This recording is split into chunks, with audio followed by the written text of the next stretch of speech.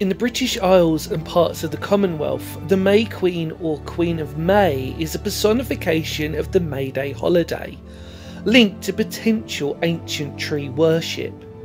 The May Queen is a girl who rides or walks at the front of a parade for May Day celebrations. She wears a white gown to symbolise purity, and usually also a tiara or crown is placed on her head.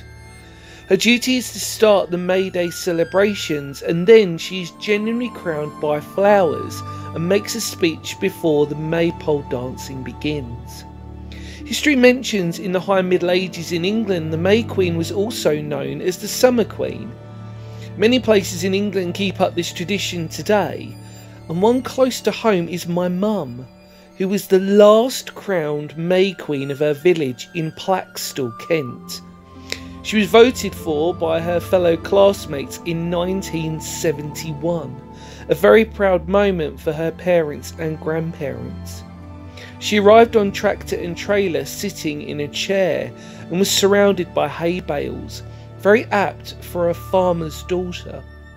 A day full of local traditions maypole dancing, folk dancing, hog roasts, coconut shies, fortune telling, ducking the maid, and many, many more games to be played.